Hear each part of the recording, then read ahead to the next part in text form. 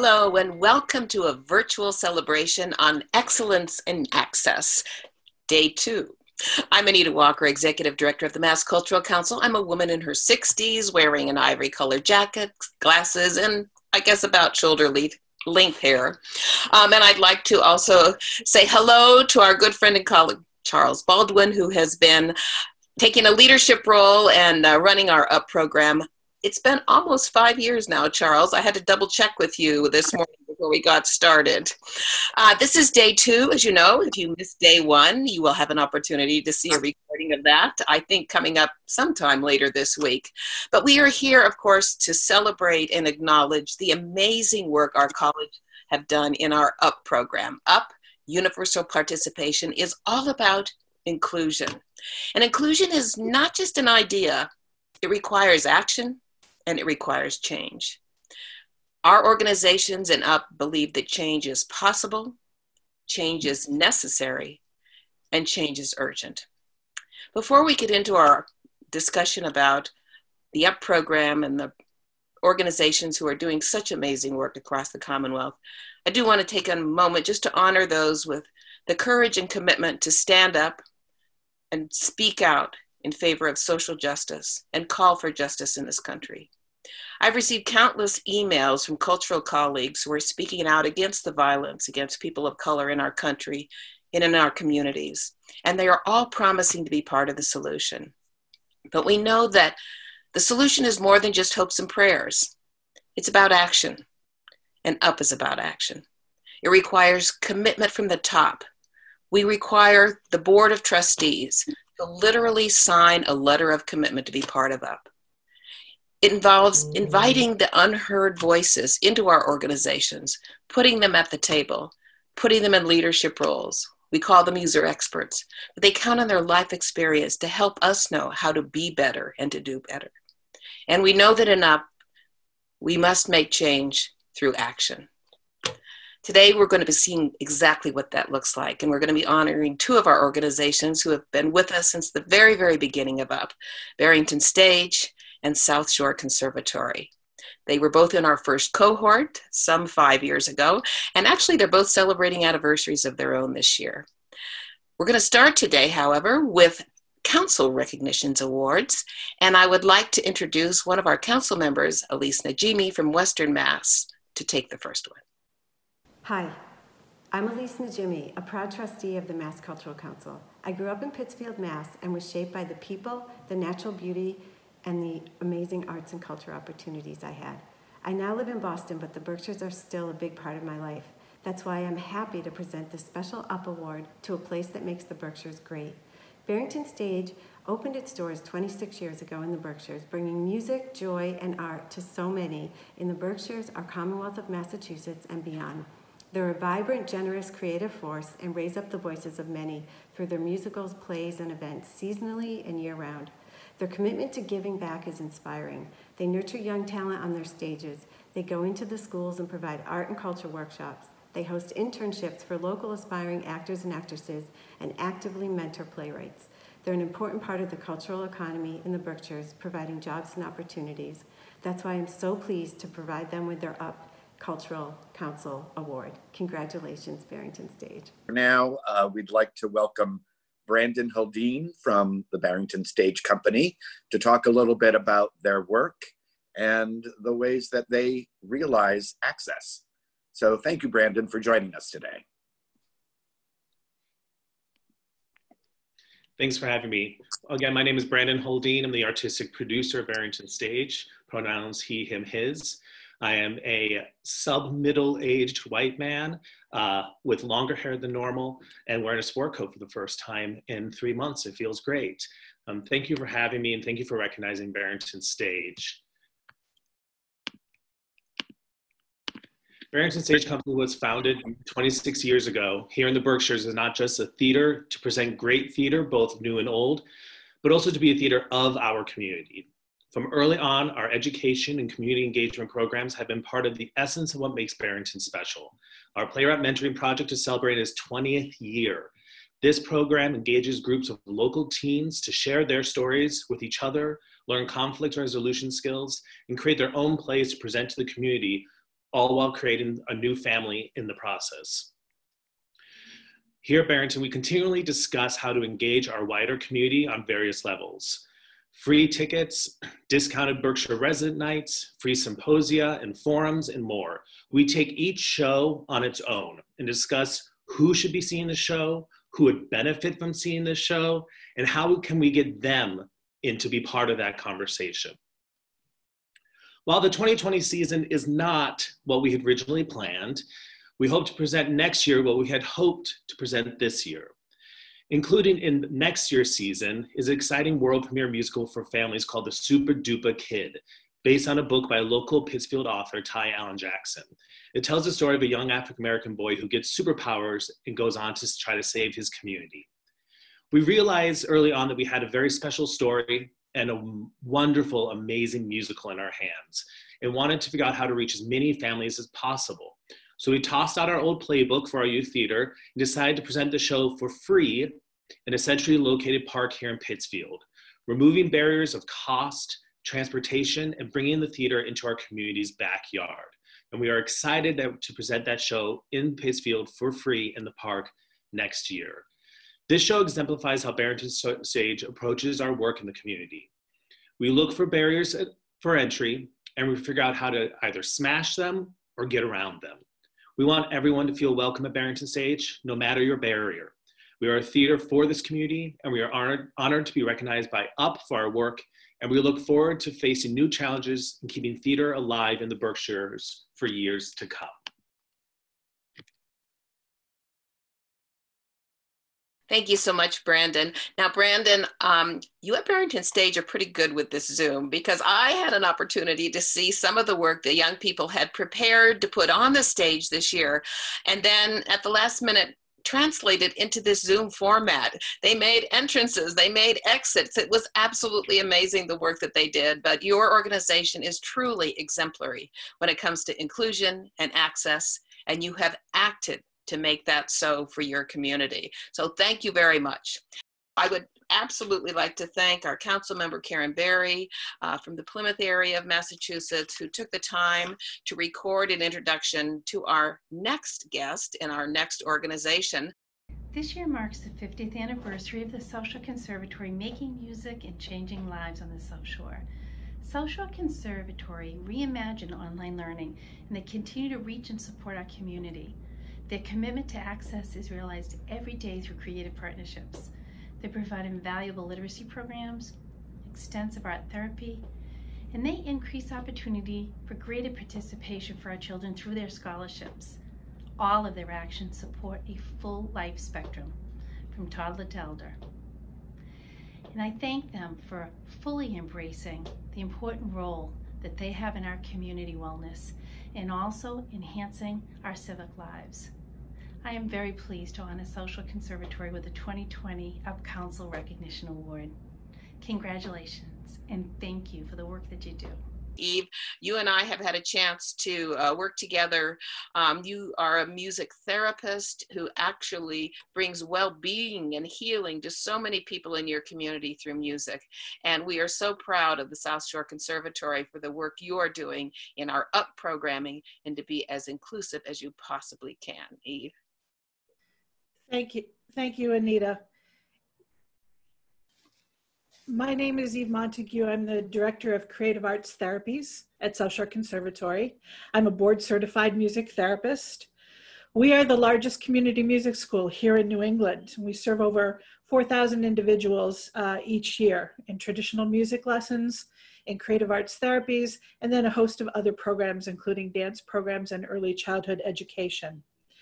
We have significant partnerships in our communities, including local schools, long-term health facilities, um, Cranberry, uh, the hospice programs, and other programs that serve individuals who might learn differently. We are celebrating five years as an UP designated organization and are very proud to be part of this network.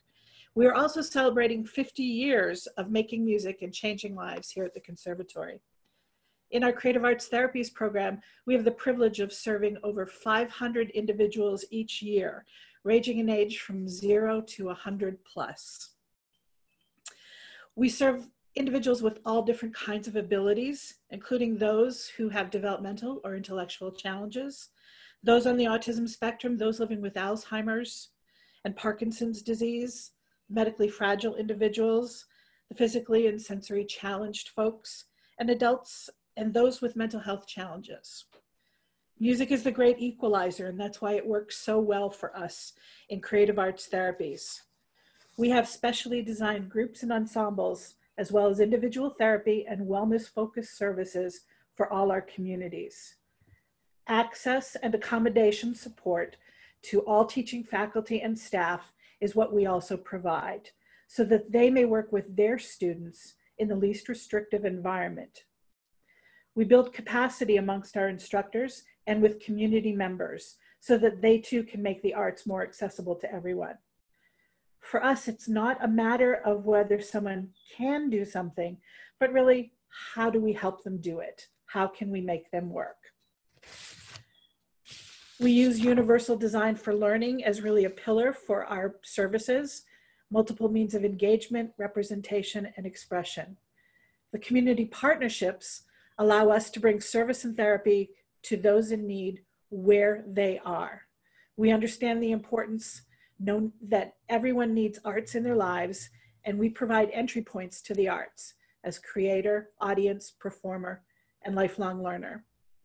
Our facilities are warm and inviting, very accessible. We've been fortunate to make significant improvements over the course of the years, thanks to the generosity of Mass Cultural Council. We provide know before you go and social stories so people can plan ahead and know what to expect. It's a work in progress for us, however, and we continue to make improvements. Our culture at the conservatory is inviting, helpful, and attentive to everyone who walks through our doors and accesses our services. We provide staff and faculty training so that we build capacity with all our constituents. We understand the importance of people first language, and we want to be an accepting, creative, and celebrating individual skills. We are welcoming. Our jazz rock pop department has seen an increase in young individuals who might be questioning their place in society and where they fit in. And they have found a home and a comfort within our programming. We're non judgmental. That's the beauty of the arts, it's the great equalizer. Providing safe space has been very important and creating community. We provide a true continuum of service and opportunity. As I said, we are a work in progress. We have made huge gains, but we don't want to be complacent or assume we have finished the task. Thank you to MCC and their development of the UP initiative and for their ongoing support. And thank you to SSC and especially our outgoing president, Kathy Cherney, and the board leadership. We appreciate everything that's doing and at SSC, we are making music and changing lives. Thank you.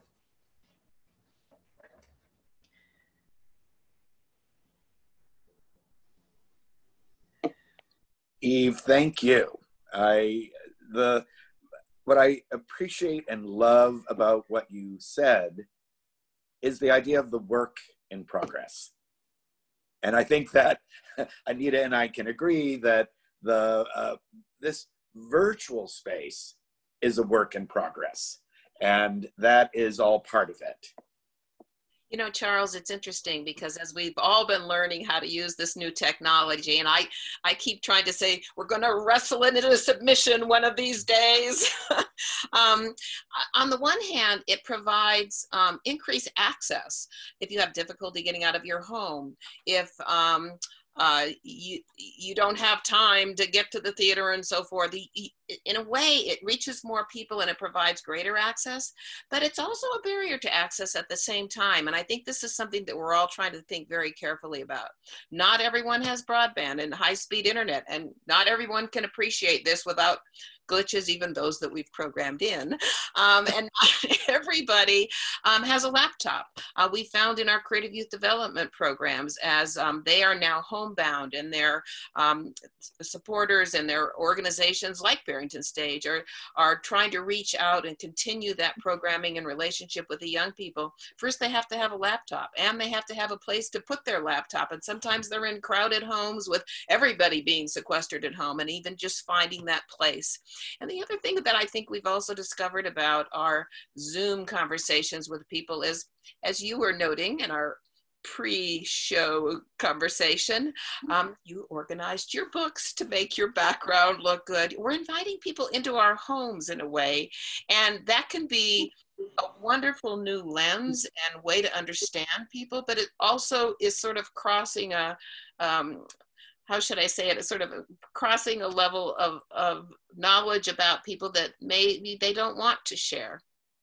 I think that's all of those points are so spot on because I do think that this intro into our homes, you know, so many of us are used to this third space, whether it's the office or the community center, where we have a chance to be sort of meet on equal ground. And suddenly be coming into our homes with pets or children or seniors or family, there's there's a lot. And so I have fabricated this back wall. Um, I should introduce myself because I've everyone. I'm Charles Baldwin. I am the uh, program officer for the Universal Participation Initiative. I am an older white gentleman with a, a beard, glasses, and a mohawk. Um, and I want to, even though with technical glitches, to give a shout out to our tech team because these virtual spaces that we're trying to turn in to this third space so that we can still be connected this that's the wrestling that we're doing. How can we make these virtual spaces more accessible? So through this half hour we're providing asl interpretation. We have the captioning happening. Uh, we are also trying to with 30 minutes attempt a certain pace that contributes to our own well-being for many of us working remotely we zoom zoom zoom and Zoom again. And even that can start to wear us down. So, throughout all of this uh, up initiative in the virtual space, while we're celebrating access, we're also experimenting with new methods of access. So, have to say, Charles, uh, first of all, Charles is a fantastic leader, a fantastic teacher. And uh, we've all taken a leap of space. Uh, when you first said we're doing five days in a row, there was this sort of panic that set into the leadership team at the Mass Cultural Council. And we're going to have performances and we're going to have honors and we're going to have videos. And we were like, oh boy, let's do it, Charles. Let's go for it. Uh, and thank you for allowing that experimentation because sometimes access is also risk. And we talked about turning word into action, this idea of how do we uh, not only to be responsive, but to be aspirational and to take those risks and to try new things. And really, now more than ever in this speculative landscape, these risks are going to be part of our everyday lives. So, as a matter uh, of risk taking, uh, first of all, it requires a certain amount of courage, but it also requires a lot of forgiveness. And I feel that we are all in an environment of forgiveness since we're all trying and succeeding at various levels to uh, work with the new technologies, by the way, that we never, ever used to use 10 weeks ago. Oh, for many of us, although many of these virtual spaces have been used by a variety of people who don't have the ability to get out and about. I mean, there is an assumption around technology, but it has been serving people for a long time, and now it's serving more of us. Which really fits into this whole idea of uh, you improve things for one person, and so many more people benefit, which is an up directive. Exactly. When it's good so, for all. So take it away, Charles. What's yeah? Next?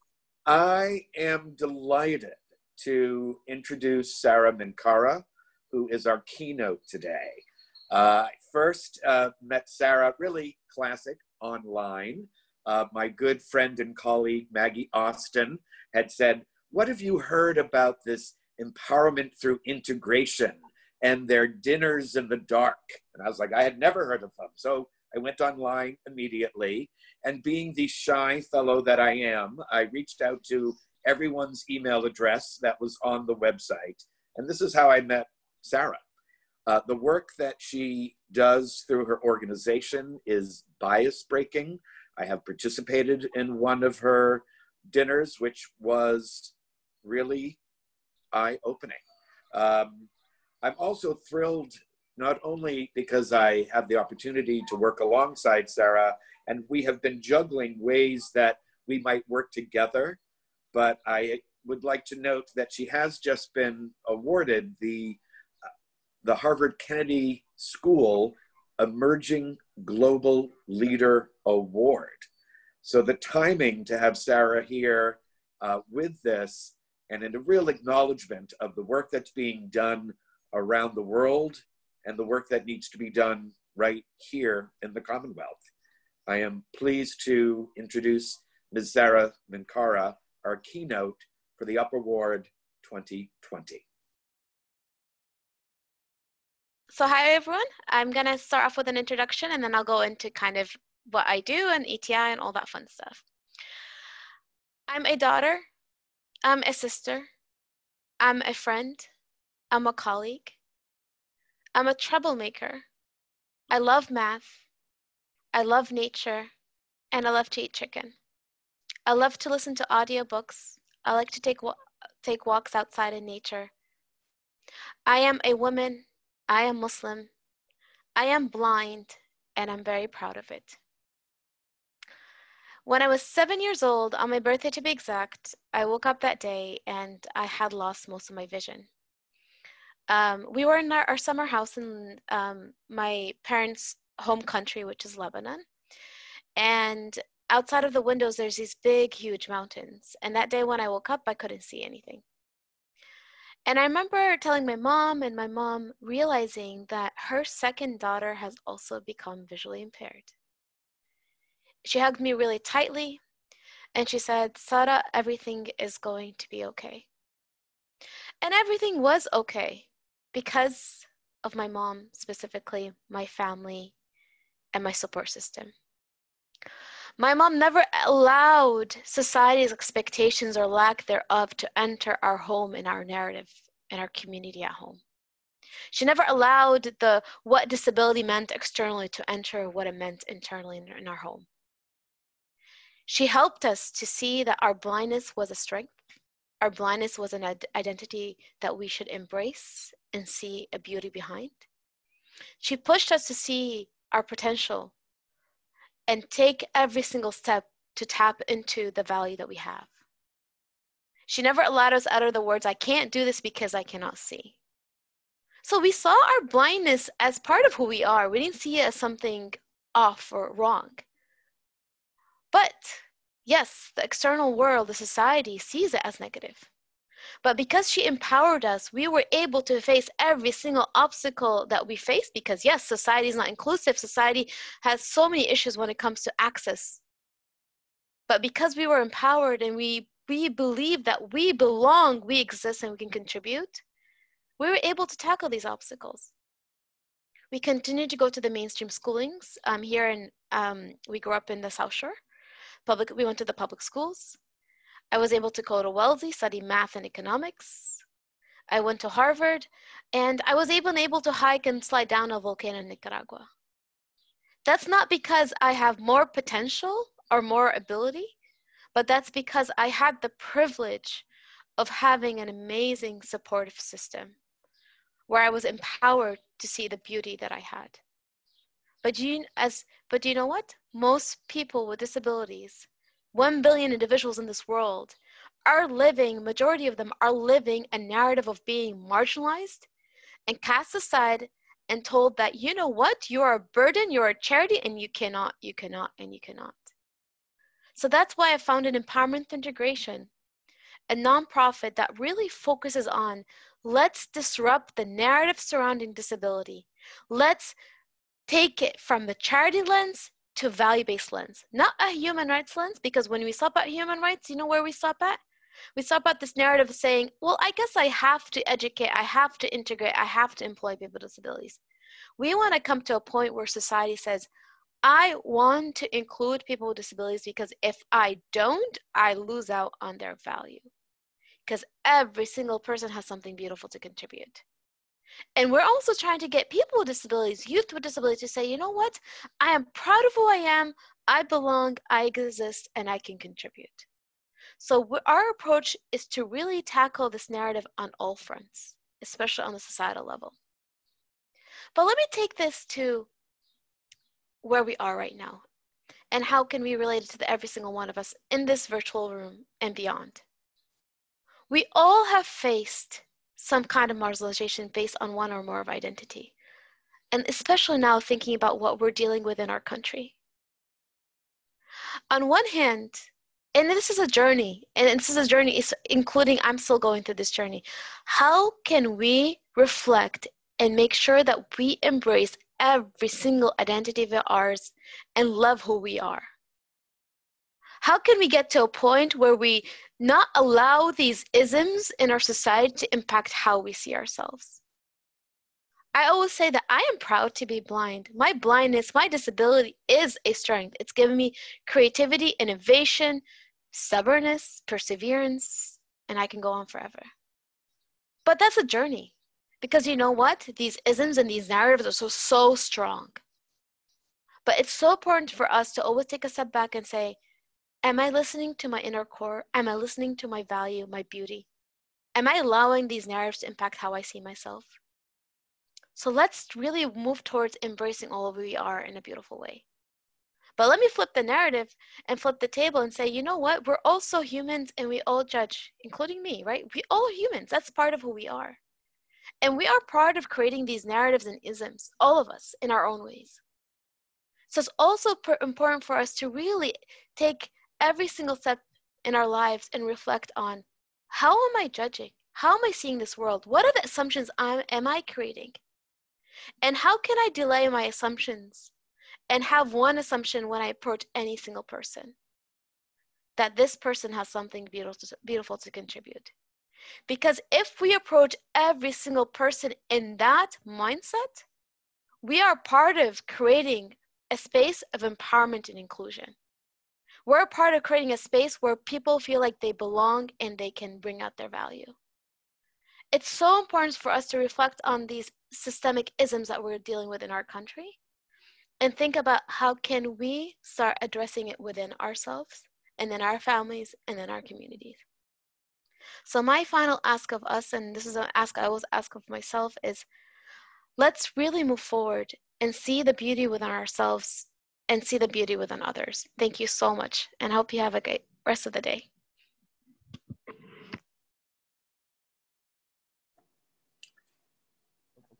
Thank you so much, Sara.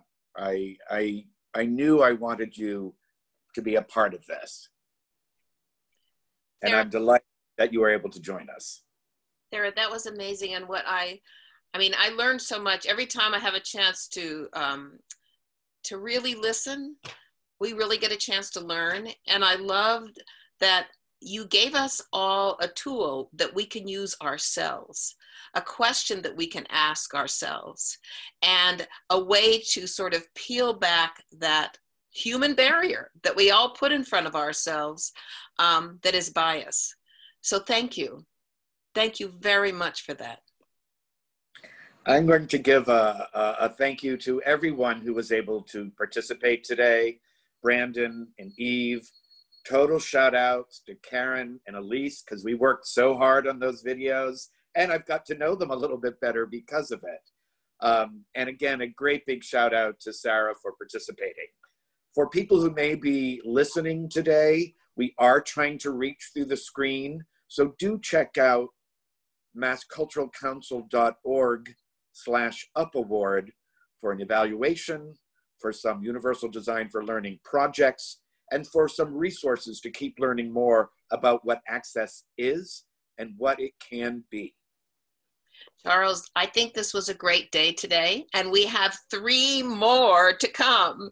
So every day, same time, same station, join us. Tomorrow we will be celebrating more of the wonderful work. And please know there is amazing and wonderful work going on in every corner of the Commonwealth. Charles and Angelina, who work together on our UP program, are keeping the ball rolling, and we are so excited to see what's coming next. And don't forget, there's a big, big reveal on Friday. So it's time to start building the suspense and excitement, enthusiasm. So if you missed any portion of this, they will eventually at some point in time be available to you as a recorded binge watching opportunity. Uh, but in the meantime, uh, stick with us. You know, live is fun. You never know what's going to happen, right, Charles? That is so true, so true. But you did point out that you know this is part of actually a grant or prize ceremony. So someone at the end of this week is going to be given ten thousand dollars. Ah, now you're going to stick with us because you want to know who the contestants are. Well, this is more than a contest. It's real work that our organizations are doing together. And we want to make sure more and more organizations and individuals have an opportunity to participate and become increasingly inclusive.